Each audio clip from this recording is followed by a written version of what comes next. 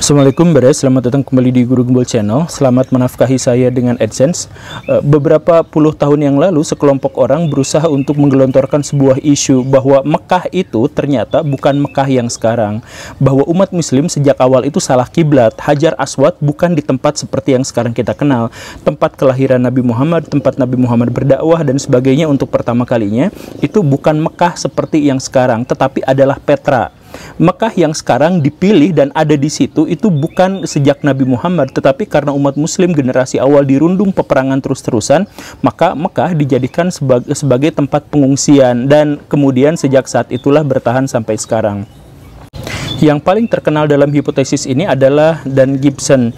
Apa yang dia katakan? Dia menyatakan telah melakukan penelitian selama puluhan tahun di situ dan menemukan ada begitu banyak ketidaksinkronan antara teks-teks kuno tentang Arab dengan kondisi Mekah saat ini sehingga dia menyimpulkan bahwa Mekah bukan ada di situ tetapi ada di Petra di Jordania di Aman. Apa landasan hipotesisnya? Setidaknya saya mencatat ada empat alasan yang dia ajukan. Yang pertama bahwa tidak ada satupun nama Mekah dalam peta di tahun 1000 eh, di tahun 600-an sampai 700-an. Kalau tidak ada nama peta Mekah di situ artinya memang jangan-jangan mungkin kota itu tidak pernah ada. Kan kemungkinan yang pertama seperti itu. Bayangkan saja Mekah itu ada di jalur perdagangan yang sangat ramai dan diapit oleh peradaban-peradaban besar di dunia.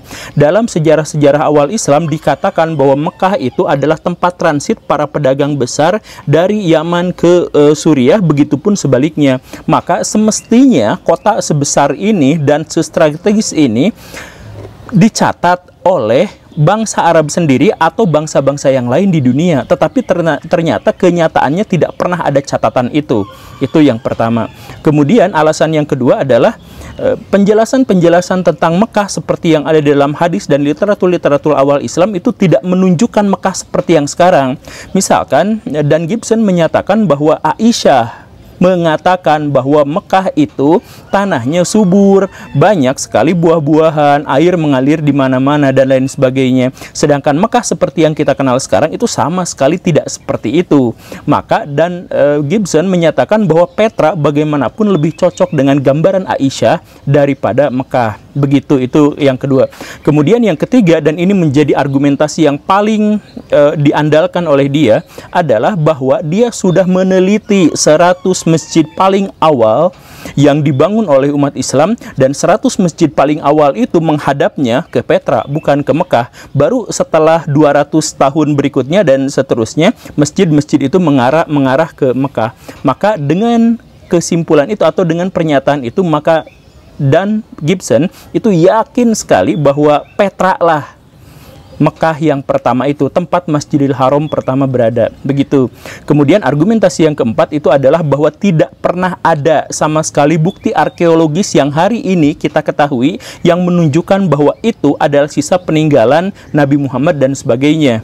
Kan misal kalau kita e, peninggalan Mataram apa ada bukti arkeologisnya kan nah, misalkan begitu nah ini di Mekah itu nggak ada sama sekali justru yang ada itu adalah di Petra Nah, empat argumentasi utama ini dan kemudian diikuti oleh eh, pertanyaan-pertanyaan kecil misalkan kata haji itu kan artinya tempat yang tinggi sedangkan berhaji untuk orang zaman sekarang itu malah di tempat yang rendah. Ini menunjukkan bahwa hajinya zaman dulu bukan haji zaman sekarang gitu ya. dan, dan lain sebagainya. Sebenarnya pertanyaan-pertanyaan itu adalah pertanyaan yang tidak terlalu sulit dibahas kalau kita memang mengetahui teks-teks kuno dalam sejarah peradaban Islam. Tetapi karena makin banyak orang yang mempertanyakan ini, jadi saya akan jelaskan di dua episode. Yang sekarang kita akan membahas dua argumentasi dan Gibson dan penjelasannya. Kemudian di episode yang lain kita akan membahas dua argumentasi yang lainnya. Jadi ayo kita anu.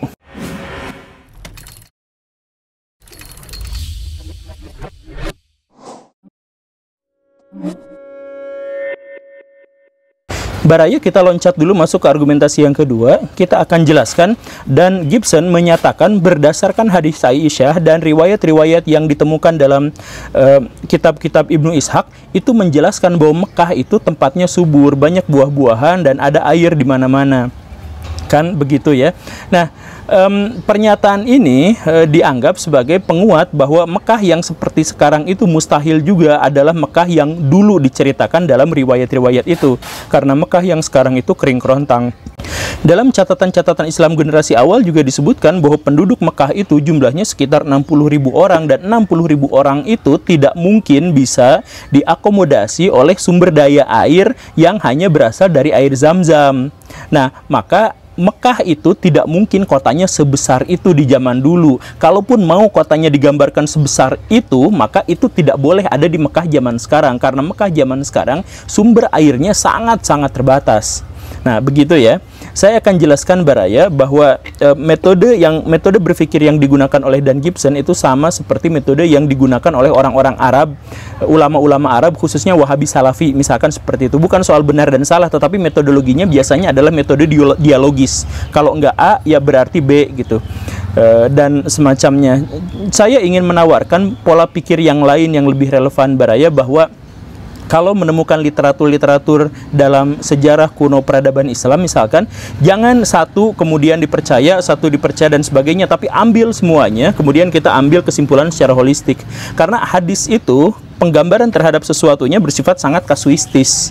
Eh, benar kan? Jadi maksudnya ketika Aisyah menceritakan bahwa Mekah itu subur, Mekah itu banyak tumbuhan dan sebagainya pada musim-musim tertentu saja. Dan kalau Baraya mau tahu, misalkan ada di antara Baraya yang pernah berhaji, itu dalam musim-musim tertentu Mekah itu dingin, dalam musim-musim tertentu Mekah itu banyak tanaman, banyak tumbuhan dan air mengalir di mana-mana.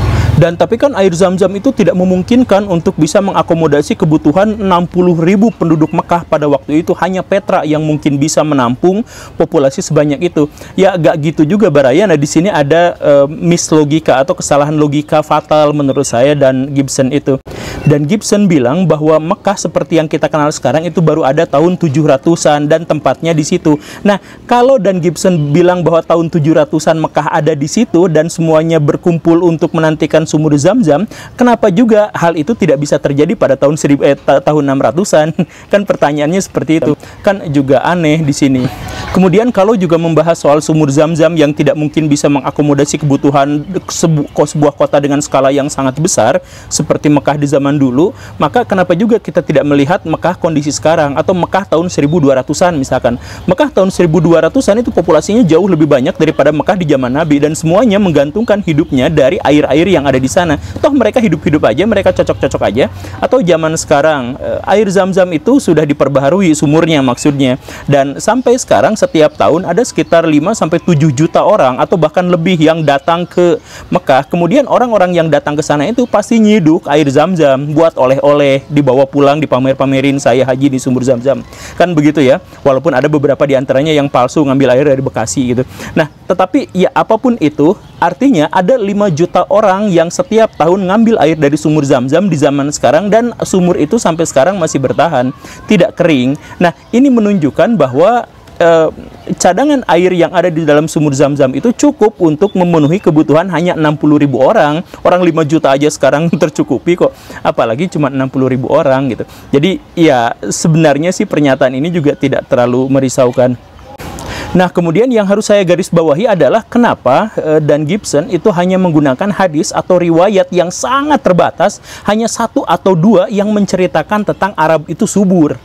Kenapa hanya satu atau dua? Kenapa tidak mengambil riwayat ratusan ribuan yang lain yang menjelaskan bahwa Arab itu tanah gersang, Mekah itu gurun pasir. Kenapa yang ribuan itu diabaikan? Kenapa hanya mengambil yang dua ini saja? Kan ini pertanyaannya unik.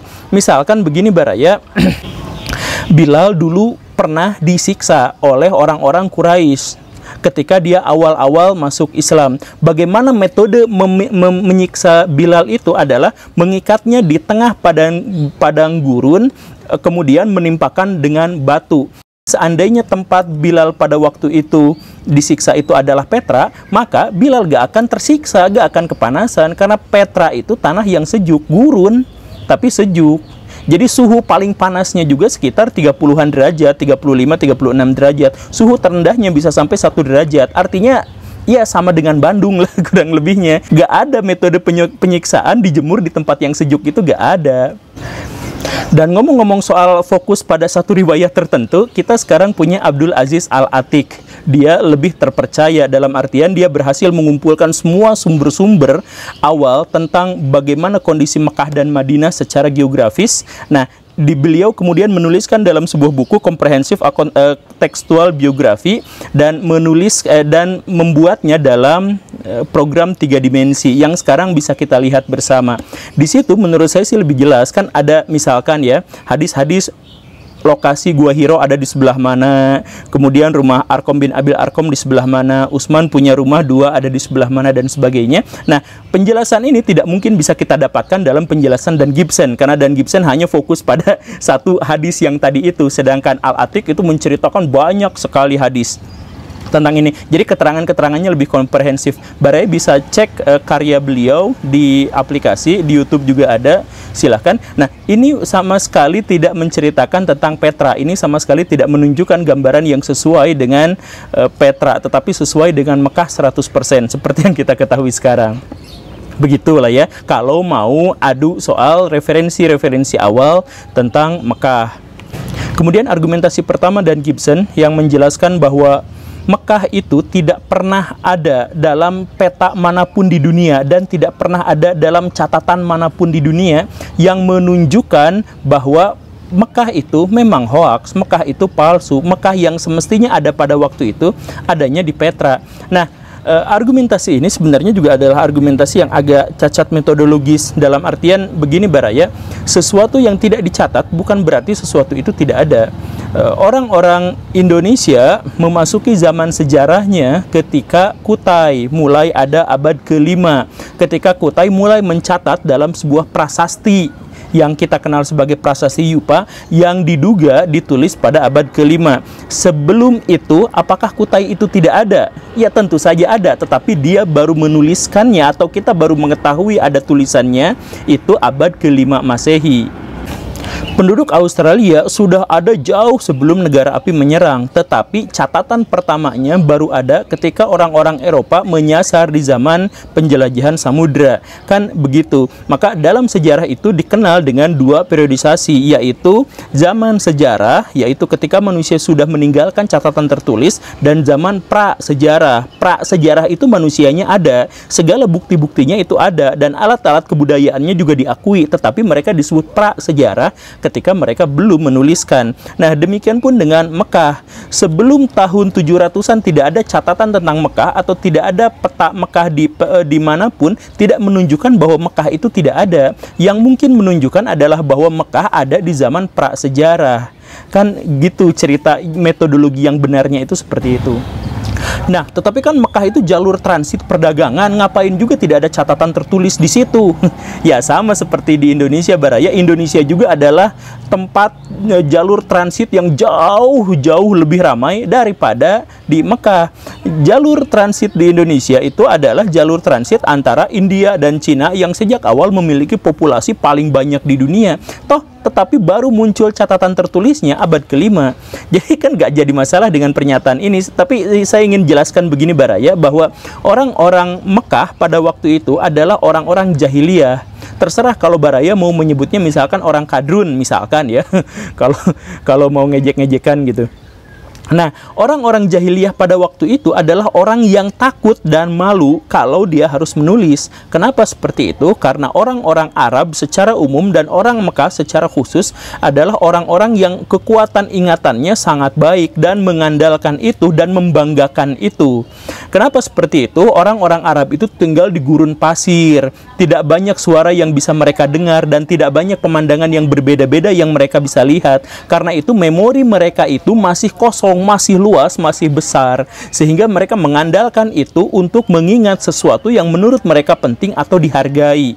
Maka orang-orang Arab itu terkenal kuat sekali hafalannya, sekali mendengar langsung dihafalkan, sekali mendengar langsung hafal dan sebagainya. Nah, karena orang-orang Arab sangat mengandalkan dan sangat membanggakan kemampuan dalam menghafalnya, mereka malu kalau mereka harus mencatat mencatat itu aib. Kenapa seperti itu? Kalau ada orang yang memorinya kuat, dia tidak membutuhkan catatan. Artinya orang yang mampu mencatat itu adalah orang yang memorinya lemah.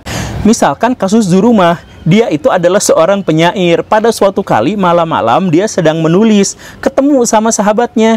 "Weh, lu ngapain?" "Eh, enggak, enggak. Eh, lu mencatat ya." "Enggak, sumpah gua enggak mencatat." "Itu itu itu apa?" "Itu itu itu punya orang lain." "Lah itu lu bawa pegang pulpen?" Oh enggak, ini gua gua sumpah ini bukan. Jadi ketika Zumara itu ketahuan menulis, udah kayak gelagatnya itu udah kayak pejabat ketahuan nonton hentai gitu.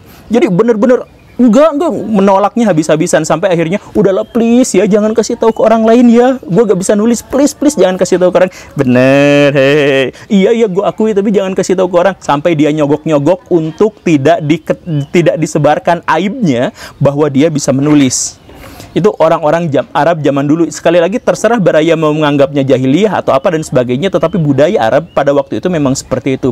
Dan karena itu maka mereka tidak mau meninggalkan catatan tertulis walaupun mereka memilikinya karena malu, karena aib dan kebudayaan itu baru berubah setelah uh, Islam muncul dan ketika Islam muncul pun sebagian besar sahabat itu juga tidak bisa membaca dan menulis. Ya, karena alasan sudah tua dan tidak terbiasa dengan menulis dan sebagainya banyaklah alasannya.